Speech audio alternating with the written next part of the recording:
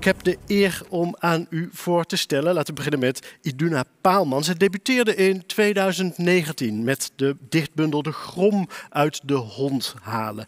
Dat leverde haar nominaties op voor de Ida Gerhard Poëzieprijs, de C. Buddingprijs. En ze werd winnaar van de Poëzie Debuutprijs 2020. Volkskrant riep haar uit tot literair talent van het jaar.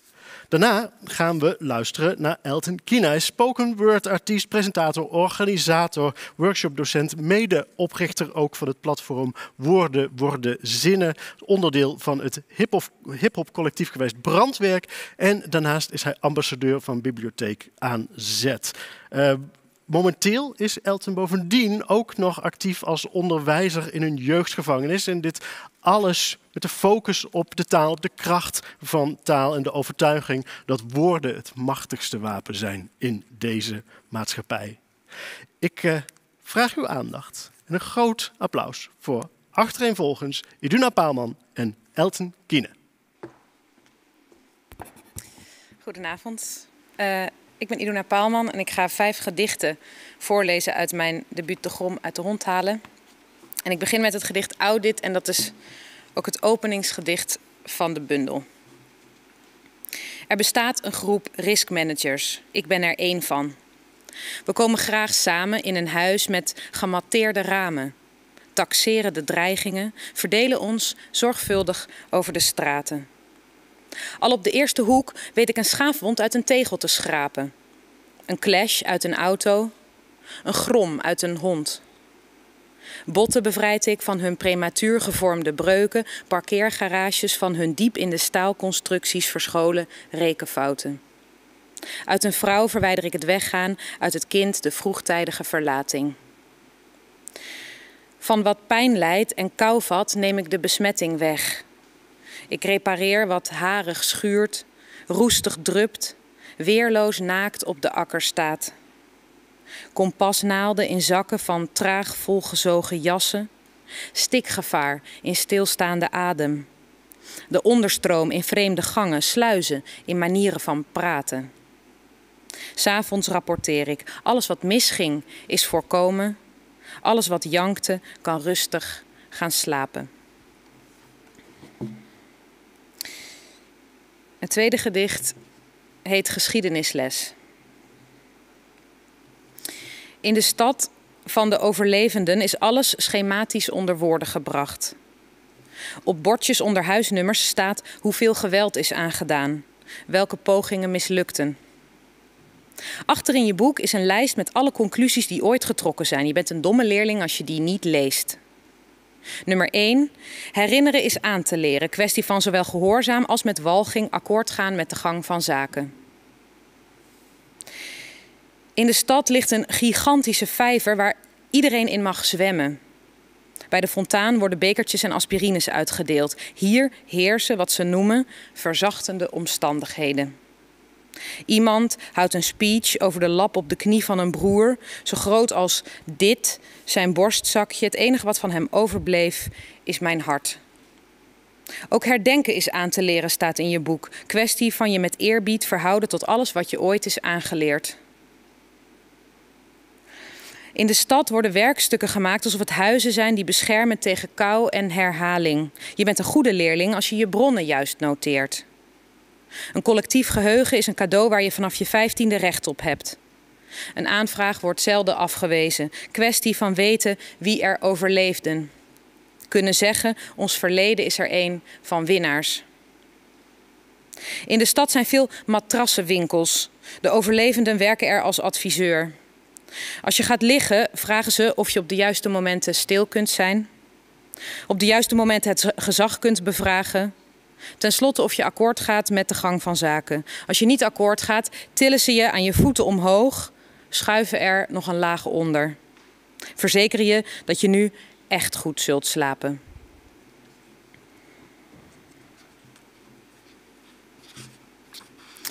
Het volgende gedicht is een gedicht dat deel uitmaakt uh, van een meerdelig gedicht. En ik lees het deel voor dat banen heet. Het komt uit het gedicht Beveiligde Weergave.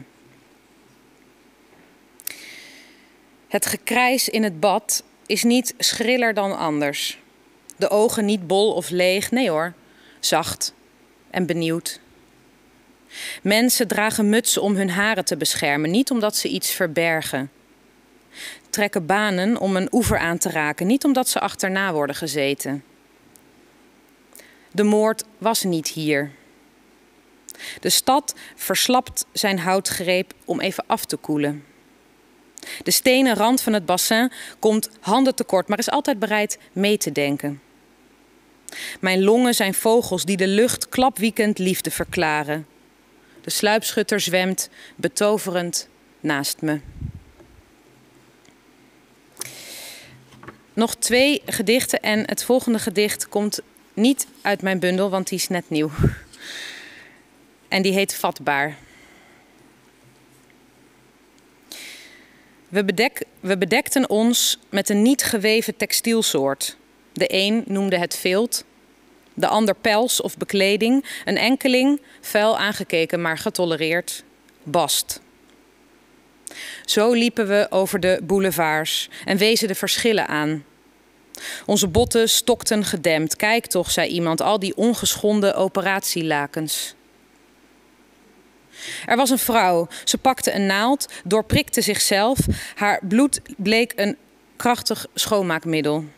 Ze wreef haar lijf tot lap, bood zich aan als isolatiemateriaal. We liepen verder. De lucht kwam neer als ongericht vlies. Oude hechtingsplekken nauwelijks zichtbaar. Voor ons blote oog alleen de grote, ademende gestalte in klamboeachtige omhelzing. Kerngezond, schuchter, vatbaar voor de wond die ingang zocht.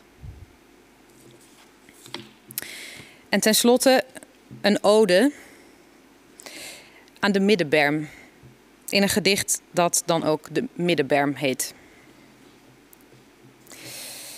Och, middenberm, ben je niet moe van het turen en waken, het verteren van wat raast en niet verongelukt?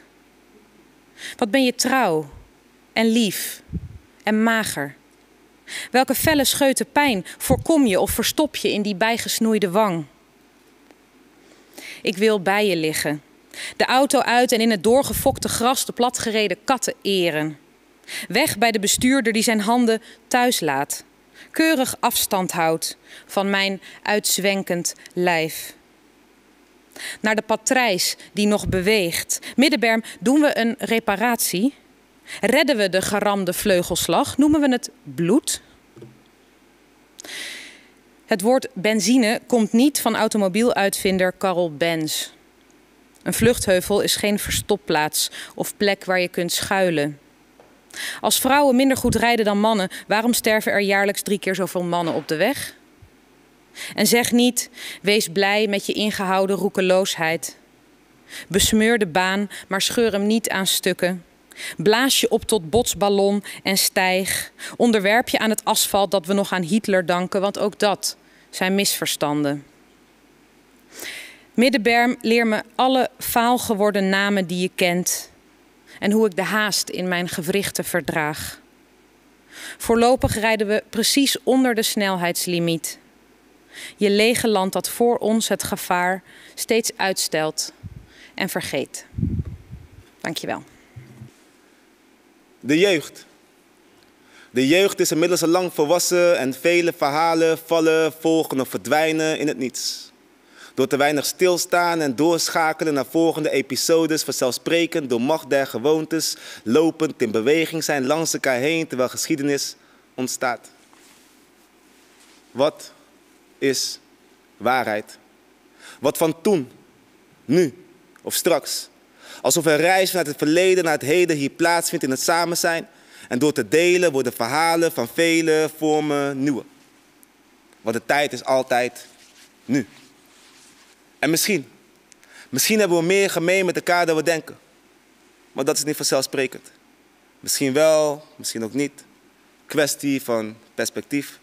Gelukkig, gelukkig hebben we meer dan alleen woorden om mee te spreken. Wat spreken is niet voor een ieder vanzelfsprekend. We vinden elkaar in de verhalen die we met elkaar delen. Steeds meer van mij opent meer van jou en weer andersom. Elkaar raken is er meer waarde, meer water als we putten uit de bron. Ons herkent ons. Na meerdere ontmoetingen. Organisch, ongedwongen, wat moet, zal zijn, toch? Dus noem maar zweverig terwijl ik opstijg en van alles opeens weer blijkt. Zweverig, ja. Tegelijkertijd stevig met mijn voeten op de grond, wat ik kan overal ademen. Ruimte innemen en van daaruit creëren. Wat we voelen, leren, uitdragen. Terwijl we afleren, bijleren en nieuwe waardes bepalen. Nieuwe waardes. Nieuwe waardes met een andere houding zoals... Kunnen we niet schrijven, kunnen we nog steeds bewegen. Kunnen we niet krijgen, kunnen we nog steeds geven. Kunnen we niet zien, kunnen we nog steeds voelen. Kunnen waarnemen om te kunnen uitdragen wat we bedoelen. Durven en proberen ondanks tegenslagen. Herkennen en herkennen het kleine en daarom zijn we dankbaar als we weer bijdragen. Het ging wat langzaam wat betreft mijlpalen. Hoe dan ook, we investeren in geluk dat van alles weer is gelukt. Ik ken mijn waarde. En voor een betere toekomst wil ik best de prijs betalen.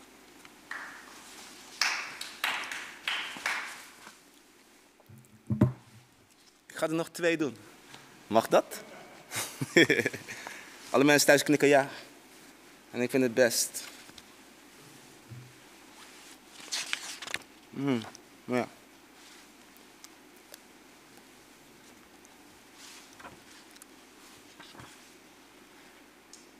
Alsof we ondertussen niet beter zouden moeten weten. Alsof we niet beter kunnen. Alsof het niet anders kan. Alsof de wereld alleen maar zwart of wit. Alsof er alleen maar donker en licht. Alsof er niks tussen zit. Ik bedoel over hoe de wereld geworden is. Over hoeveel rijkdom. Over de manier waarop. Over hoe zo wij wel en zij niet. Over hoe krom de stijgende lijn van groei is. Over hoe nog steeds. Alsof we niet echt naar beter streven. Alsof er maar één waarheid is en we samen leven in een wereld met kapotte spiegels en daarmee kiezen voor gebreken. Alsof hypocriet de norm is en dweilen met de kraan open een nieuwe vorm is. Alsof het echt niet anders kan. Alsof we echt niet beter kunnen. Alsof alleen anderhalf meter straks voldoende is, terwijl we nog steeds met meerdere maten meten. En alleen snel verandering kunnen invoeren als mensen met meer privileges klagen over problemen. Alsof we echt niet beter weten. Steeds vaker ben ik sprakeloos en zit ik vast tussen zwijgen en spreken. Dus schrijf ik om te verwerken en om mijn eigen positie te bepalen in deze waanzin. Hoe lang blijven we nog rondjes rennen? Achter onze eigen staat aan. Alsof we niet in staat zijn beslissingen te nemen voor een betere samenleving. Alsof we verslaafd zijn aan problemen waarvan we niet willen leren. En daardoor telkens weer een reis maken naar het verleden. Alsof we geen recht hebben van spreken. Maar goed. We kunnen iedere steen optillen om te zien wat eronder ligt. We kunnen van alles in twijfel trekken en in onzekerheid bestaan. Niet in de betere wereld geloven en dan daarvoor gaan. Schreeuwend vanuit een slachtofferrol in de hoek tussen de machtelozen. Jezelf constant van je eigen tijd beroven, gefocust op de mindervolle kant van de zandloper. We kunnen geen genoegen nemen met een hoop en met die gedachte genoegen nemen. Zwoegen van s morgens vroeg tot s avonds laat met alleen geld willen verdienen als reden. We kunnen niet religieus zijn en toch sterren als goden aanbidden. Onze stem verheffen om vervolgens niet te gaan stemmen, zodat we onze gelijk krijgen terwijl, terwijl we onze eigen toekomst voorspellen. Zo van, zie je nou wel, ik zei het je toch? Veel te ingewikkeld, te veel tijd, te moeilijk. We kunnen kiezen voor geen keuze hebben en achteraf beseffen dat het onze eigen keuze was. Of dat gewoon niet erkennen en weer de makkelijkste weg kiezen door bewust te zwijgen alsof situaties zich nooit echt voor hebben gedaan. Meestal mijmeren met een mening hebben over een constante strijdje wel. We kunnen zoveel meer als we dat willen, maar dat blijkt niet onze verantwoordelijkheid. Een laatste.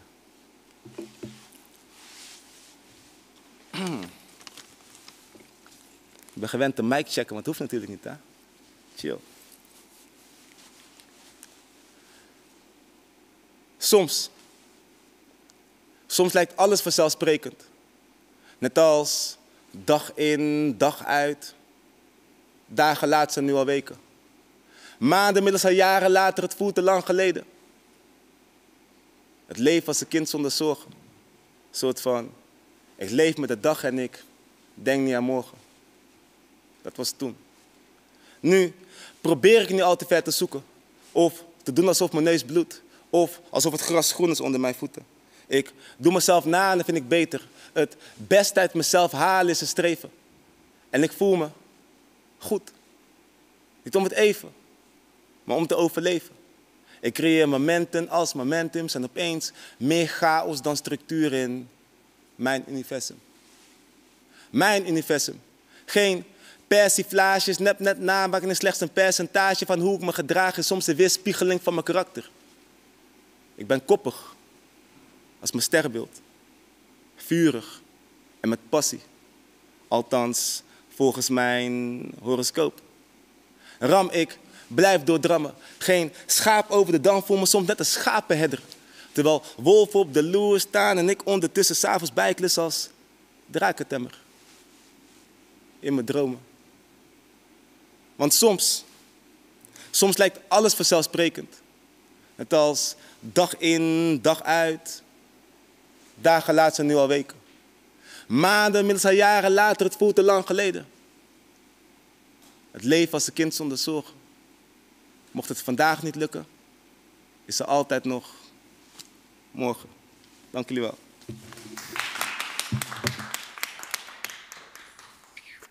Achter dit katheder gaan twee schrijvers hun opwachting maken. Ik uh, kondig ze allebei aan. Uh, we gaan uh, beginnen met Lamia Makadam. Zij is van oorsprong Tunesische. ze werkt als vertaler, heeft onder andere Malva van Hagar Peters vertaald en heeft ervoor gezorgd dat Connie Palme een doorbraak in de Arabische wereld had dankzij haar vertaling van Jij zegt het. Zelf publiceerde zij ook drie dichtbundels. Ze won in 2000 de El Hisra Literatuurprijs. Maar nu is het eindelijk mogelijk voor Nederlandse lezers om haar poëzie tot zich te nemen. Uh, Abdelkader Benali vertaalde haar bundel Je zult me vinden in elk woord dat ik schrijf. Het is de titel van een intieme, zinderende bundel. Een ode aan het lichaam in alle facetten van borst tot en met knie. Nadat zij het podium heeft betreden, gaan we luisteren naar Edna Azulay. Uh, ook in haar werk speelt het lichaam een heel belangrijke rol. Ze schrijft poëzie, toneel, staat zelf ook op het podium met allerlei performances. En in de zomer van 2020 studeerde zij af aan de HKU-opleiding Writing for Performance. Met haar werk een lichaam van water kan niet breken. Het is een monoloog, de verzameling essays over schrijven, over liefde, over verlangen, identiteit, queer utopieën, tussenruimtes en, jazeker, water won zij de pluim, de jaarlijkse onderzoeksprijs voor alle afstuderenden van de HKU Theater. Dus, dames en heren, mag ik uw aandacht vanuit huis en in de chat een groot applaus voor Lamia Makadam en daarna Edna Azulay. Goedenavond, mijn naam is Lamia Makadam. Ik kom oorspronkelijk uit Tunesië en woon sinds meer dan 20 jaar in Nederland. Ik heb drie uh, dichtbundels in het Arabisch en dit is mijn eerste in het Nederlands, vertaald door Abdelkader Benali en uitgegeven door uh, Jurgen Mas. Kortrokje. Wanneer je mij verbiedt om een kort rokje te dragen, wat blijft er dan nog over om voor te vechten? Mijn knieën vind je wel verleidelijk. Mijn voeten vertederen je niet. Weet je dan niet dat ik de knieën van lege oude blikjes heb gemaakt? En van de wandelstokken die mijn vader in zijn kamer had hangen?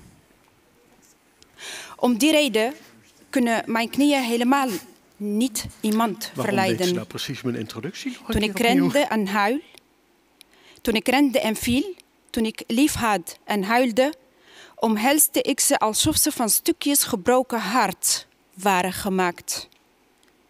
Eén keer at ik van mijn linkerknie, kijkend naar de film Hanger, staande op één been met mijn rug tegen de muur. Als je echt kijkt, zal je niets verleidelijks aan mijn knie zien. Je zult aan mij vragen om mijn schouder en borsten aan je te laten zien. Naakt als een laurierblad loop ik met je door de straten. De mensen zien mijn lichaam niet. Het lichaam is een idee. Als je goed kijkt, zie je dat mijn knieën versierd zijn met kleurige linten Af en toe voer ik mijn knieën snoepjes. Ik schreeuw wanneer ze in het koude water springen. Aan het einde van de dag knoop ik ze met een touw om mijn hals en kruip ik terug op mijn aderen. Je hebt gelijk. De liefde is een zware reis. Onafgebroken kruipen naar de ander waar maar geen eind aankomt. Als je je hand uitsteekt en de zachte huid van mijn knieën voelt, zul je twee verweesde stenen ontdekken die veel verdriet verspreiden.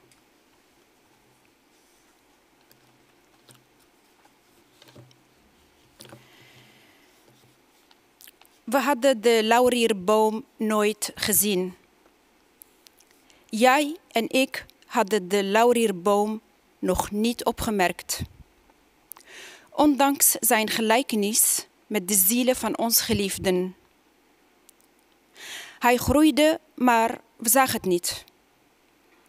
Hij bedekte de muur en we zagen het niet. Bijna had hij de appelboom verorberd. We zagen het niet. Vanochtend troffen wij de boom dood aan. De liefde was toch niet zo sterk als we dachten. Iets was ver van ons vandaan gebleven. In het donker al die tijd. Als lippen die vertrokken waren, zonder een kus of een vaarwel.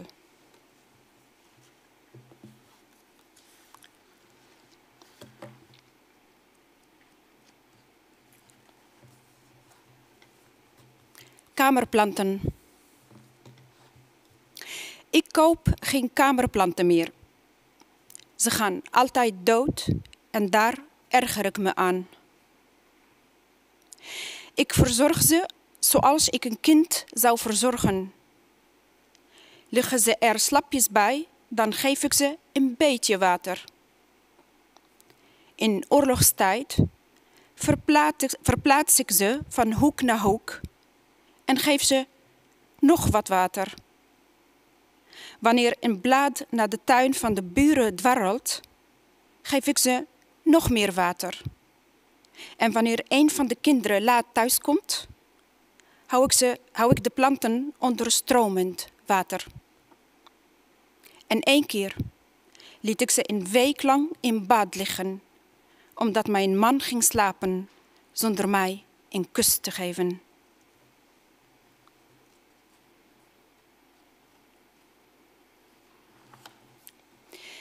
Ze spreken nooit met elkaar. Ze praten nooit met elkaar in poëzie. Ze komt en ze gaat door de gangen. Ze veegt stof van tafel of herschikt het schilderij aan de wand. Hij kijkt toe van achter het raam. Hij volgt met zijn ogen de vrije vriendschap tussen een duif en de tak van een appelboom. Ze gaan altijd in tegenovergestelde richting. Hij gaat naar buiten om te roken. Zij gaat naar binnen om het avondeten klaar te maken. Met het mes opent ze het raam in de muur. Als haar hart oprecht is, zal ze in het zout zijn ogen zien. Zal ze helder worden in een ui. En in het stromen van het water zijn aanwezigheid horen. Ze strijden in verschillende kamers, deur en duisternis steeds tussen hen in, als vreemde wezens. Aan het einde van de avond tilt zij de lakens op en drukt zich tegen hem aan. Hij pakt haar kleine hand en legt die op zijn borst. En ze spreken nooit over poëzie.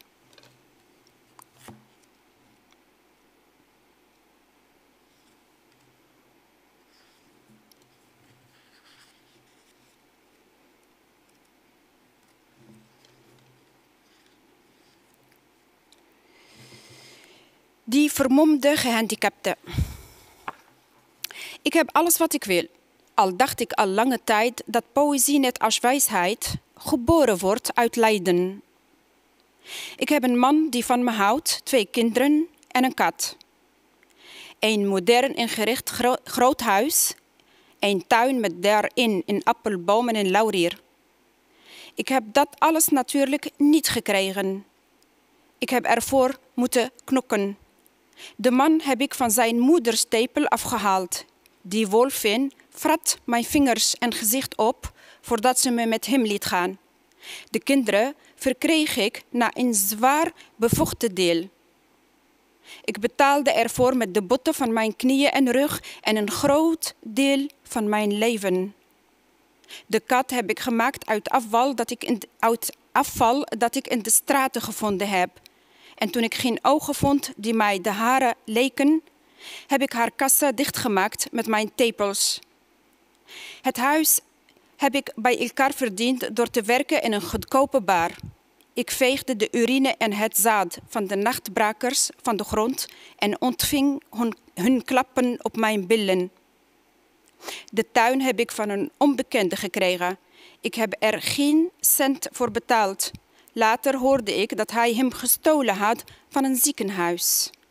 Hij gaf mij de tuin met de appelboom niet zomaar, maar omdat hij in mijn ogen een touw zag hangen. En hoe vreemd dit verhaal ook mag lijken, ik heb me altijd afgevraagd: waarom komt poëzie naar diegene die niets wil verliezen? En waarom komt wijsheid, wijsheid naar diegene die geen honger wil lijden? En wat is wijsheid voor iemand die geen rug heeft om die te kunnen dragen en tussen de mensen te lopen?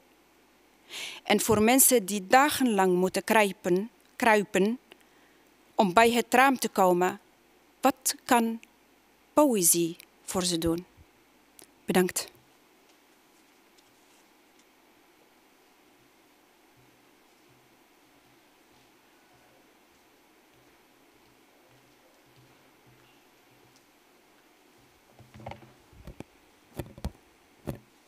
Hey, ik ben Edna.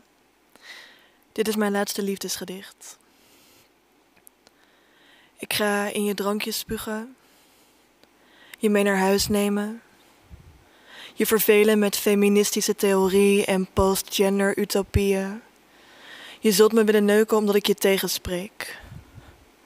Laat me dan hier op handen en voeten of billen tegen gootsteen mijn mens zijn opgeven, huidlagen afstropen.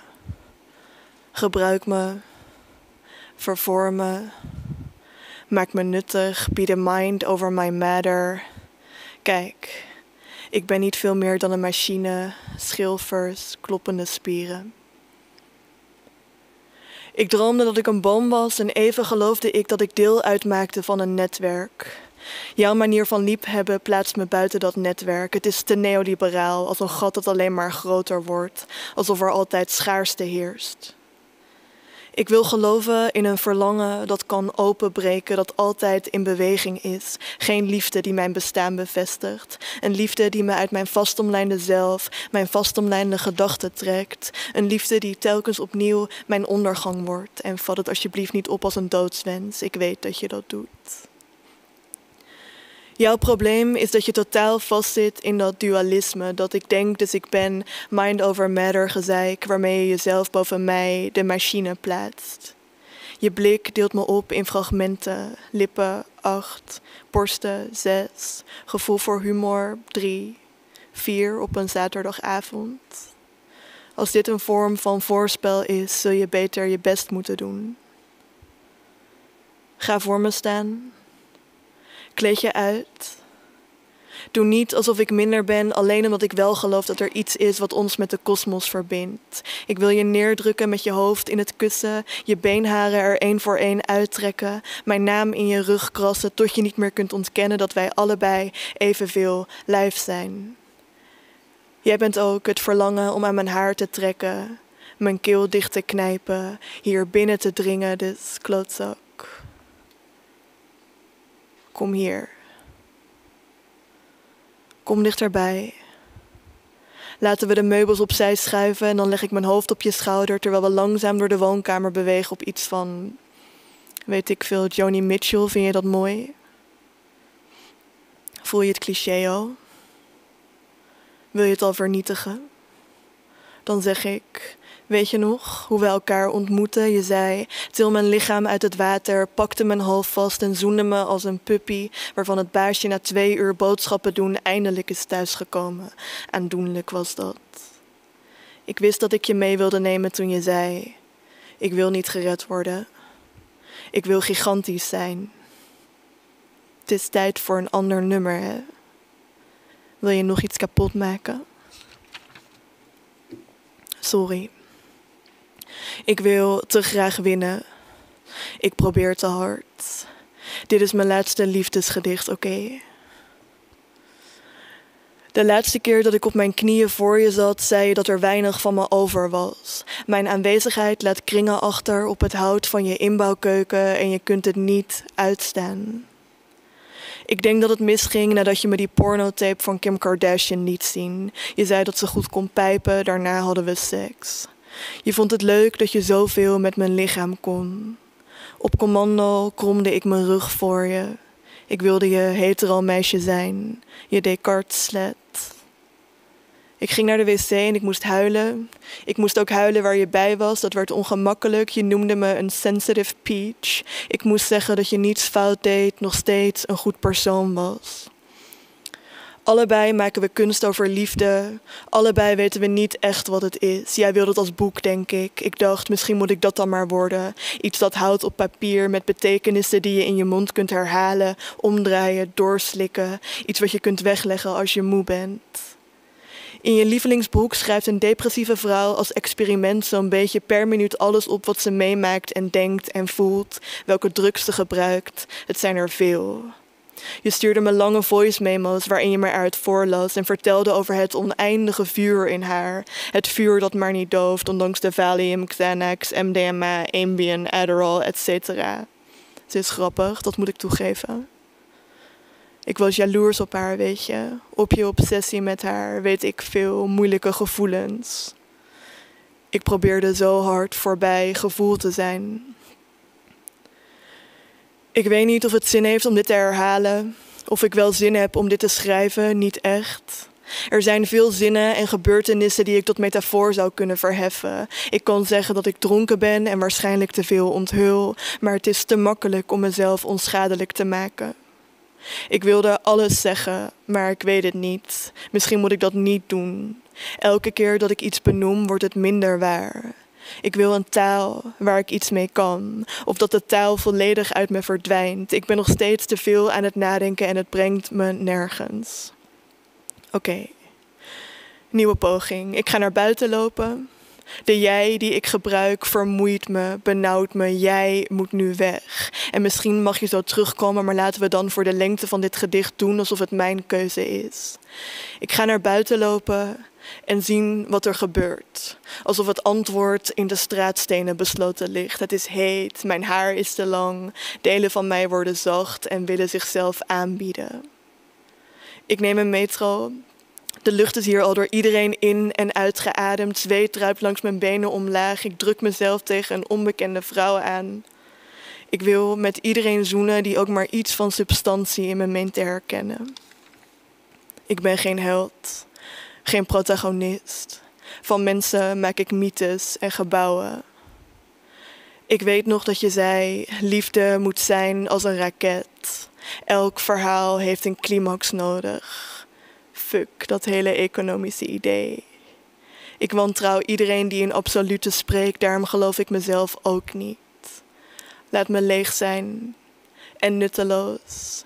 Ik wil leven. Ik weet hoe het is om te willen verdwijnen. Dit is anders. Ik ben geen boek. Dit moet meer zijn dan een afrekening. Dank jullie wel. We gaan uh, door naar de literatuur van eigen bodem. Want Crossing Border gaat ver weg maar is ook gewoon thuis in eigen land op zoek naar groot talent. En nu eh, mag ik het podium geven aan Vrouwtje Tuinman. Ze publiceerde vier romans, zes dichtbundels. In uh, september vorig jaar, in 2019, kwam haar bundel Lijfrente uit. En dat werd bekroond met de Grote Poëzieprijs 2020. Ze schrijft ook teksten, uh, libretti voor muziektheater. Uh, zelfs in tijden van corona gebeurt dat gewoon.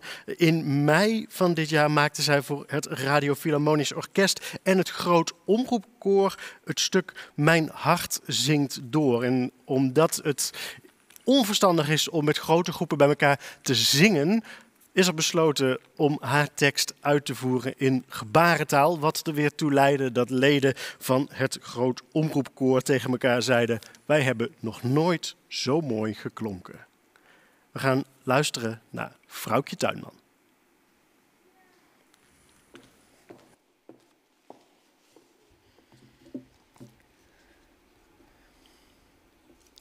In dit jaar waar alle dagen in elkaar over lijken te lopen, moet ik maar eens een gedicht voorlezen over tijd. Wachtkamer. Om te beginnen, ik kwam die vrijdag een uur of vijf te laat bij jou overlijden. De dag erna hoorden de mensen daarvan en zeiden me te zeggen dat het niet waar was. Nog wat later stond het in de krant en was het waar. De mensen wisten elk op hun eigen manier hoe het gegaan was. Op sommige lag ik tien maanden voor. Ze hadden nooit gedacht dat jou zoiets overkomen kon. Weer anderen voorspelden me hoe de dagen zouden gaan. De dagen gingen in geen enkele juiste volgorde tekeer. Totdat ze brutaal wisten te melden dat het weer vrijdag was. Om zo laat moest ik bij de rouwauto zijn, om zo laat zouden de klokken luiden. Er is iets mis met de tijd, dacht ik, in de karavaan achter jouw voeteneind. Op gepaste afstand, denk om de veiligheid, de hoek omgaand. De klokken luiden niet, maar iedereen was er. Er waren mensen die zeker wisten dat je alleen deze middag dood zou zijn voor wie s'avonds alles alweer recht trok. Ze gingen naar de kroeg, daar was je niet, maar daar was je nooit met hen, dus dat klopte. Sindsdien schijnt het idee te zijn dat ik het centrum vorm van een kring die met mij praat en huilt en vooral ook heel veel eet. Ik moet, ik mag komen borrelen, picknicken, dineren. Men wil mij in de auto laden en naar stranden parken, theaters. Ze kondigen aan een paar dagen vrij te nemen, zodat ze met mij naar een andere stad kunnen gaan. Brussel, Barcelona. Niemand die in mijn agenda kijkt en ziet dat hij vol staat met maar één taak. Soms, vaak, hadden we de tijd mee. Is het vandaag woensdag? vroeg jij en dan bleek het pas dinsdag. Pas na afloop weet je hoe weinig tijd je had. Mensen pakken mijn hand en bezweren dat het beste is je huis tenminste een half jaar aan te houden, tijd te nemen, terwijl je huurcontract daar heel anders over denkt. Na drie weken vraagt de eerste persoon of ik het een plekje heb kunnen geven. Na vier weken vraagt iemand of ik tot rust ben gekomen. Na vijf weken organiseert weer een ander een eerbetoon. Ik mag ook komen. Ik ben weer zo vaak bij jou als toen het net begon. Ik ga naar huis voor de planten en de kat en dan weer snel terug. Maar toen het net begon, kwam jij me halen. Omdat je niet kon wachten tot ik er eindelijk was. Soms was je al bijna op het station als ik de trein uitstapte. Nu loop ik het hele stuk in zijstraten te kijken of je misschien een andere route hebt genomen, maar nee, beter neem ik de auto. Ik lever je staatslot in, precies de dag nadat het is verlopen. Als ik gisteren was gekomen, had je 2 euro veroverd. Althans, als ik jouw krabbel moet geloven. Een bedrag dat blijkbaar wel kon wachten. Nu heb je het niet meer nodig. Het is nu drie maanden geleden, zegt iemand, en ik verbeter twee. Het is nu drie maanden geleden, zegt iemand, en ik verbeter vier. De grond waarin je ligt, heb je voor twintig jaar. De maanden zetten streepjes terwijl er nog een steen op moet, met daar weer letters in. Er is iets mis met mij. Ik weet bijvoorbeeld zeker dat alle mensen gek zijn, terwijl dat statistisch niet zo kan zijn. Ik heb al je lampen weggegeven en daarbij uitgelegd dat je steeds een kocht als er weer iemand dood was. Soms verzon ik welke dode bij de lamp moest horen. Eén doos vol peertjes bleef over. De mooiste had je misschien een keertje ingeschroefd, maar vervolgens voorzichtig weggeborgen. Het is nu drie, vier maanden geleden en ik durf een gloeilamp met een roos erin. Het doosje zegt 21 frank en ongeveer uit je geboortejaar niet aan te steken. Er is iets mis. Dat je dood bent, kan ik wel aan. Maar niet dat het doucheputje verstopt was. Dat ik mijn treinkaart kwijt ben. Dat iedereen altijd en overal te laat komt. Dat de mensen je verjaardag willen vieren. Dat weer anderen de datum onmiddellijk van de kalender hebben verwijderd. Ik ben intussen 44. Precies de leeftijd die jij had toen we samenkwamen. Misschien waren we al die tijd even oud. Na een aantal maanden begint men massaal te vragen of ik het leven weer opgepakt heb. Een beetje dan. Terwijl ik, bij mijn weten, het leven al oppakte zodra ik je vond. En ik je handen pakte om ze anders te leggen. Je adresboek pakte om een nummer te zoeken, om te bellen. Je agenda ligt voor me en de hele week staat open. Ik heb het lampje toch maar aangedaan. Dat leek me logisch, aangezien je leliebollen, weliswaar een paar maanden te laat, zijn opgekomen. Jouw opheffen kost zoveel tijd. Je houdt postuum een hele industrie van loketten in leven. Ik zit aan de verkeerde kant van de productielijn. Sorry, maar wanneer houdt dit zielige gedoe nu eens op? vraagt iemand na een jaar. Niet aan mij, maar aan een vriend van jou, die onderhand wel aan de stand van zaken gewend zou moeten zijn. Het is wachten tot ik dezelfde opgave krijg. Er gaan allerlei mensen dood, soms zelfs op straat. Ze trekken in de journaals voorbij en deze wedstrijd kun jij niet meer winnen. Niet op ingaan, zou ik nu tegen jou zeggen. Maar ik kan je niets vertellen. Er zijn mensen bij wie deze omstandigheid uitstekend werkt, maar met ons is iets mis. Al een hele tijd.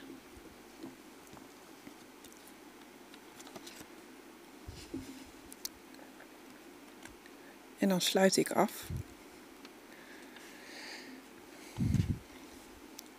Met het gedicht Omtrekkende bewegingen.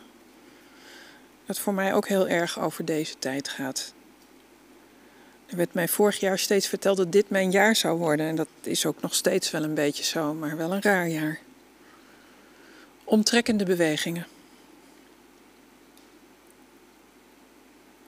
Het begint nu toch wel iets met mij te worden, zei jij. Zeiden wij altijd bij klein succes. De uitspraak kwam van je moeder en duidde erop dat wat haar zoon ook aan voorspoed toeviel, het van worden waarschijnlijk nooit tot zijn zou komen. Laat staan tot verleden tijd. Al bleef de twijfel, vandaar het toch. Er kon, al was het meer iets voor andere mensen, wellicht iets worden bereikt. En nu is het zover. Jij bent dood en dat doet wonderen voor je cv, voor dat van mij. Zonder enig diploma ben ik ineens bezorger. woordvoerder, min of meer bekende Nederlander. Ik sta als medewerker aan jouw werk vermeld. Rook namens jou een sigaret met andere geslaagden. Het begint nu toch wel iets te worden met mij.